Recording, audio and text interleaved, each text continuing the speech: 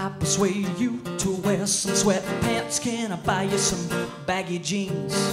And can I talk you out of wearing that sports bra? You're showing more than we care to see.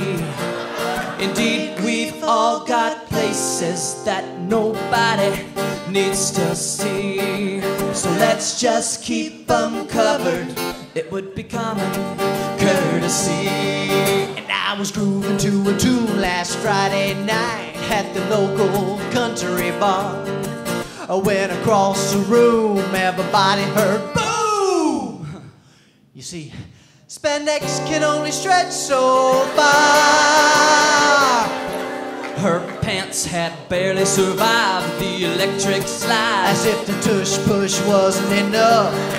But when the man called out for the Hokey pokey! we knew it was gonna get tough. Put her backside in, her backside out. We knew it was over when she shook it all about. She did the hokey pokey and she took us all out. Indeed, we've all got places that nobody needs to see. So let's just keep them covered. It would be common Courtesy. And I was walking on the beach in the middle of June Oh, no. when I saw what I didn't want to see. True story. Oh.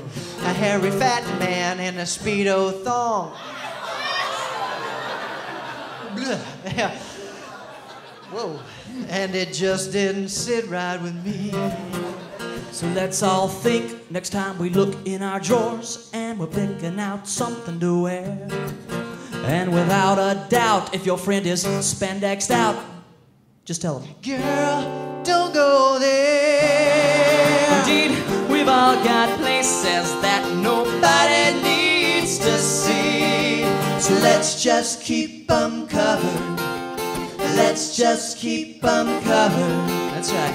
Let's just keep them covered. It would be common Courtesy. Thank you. Thank you.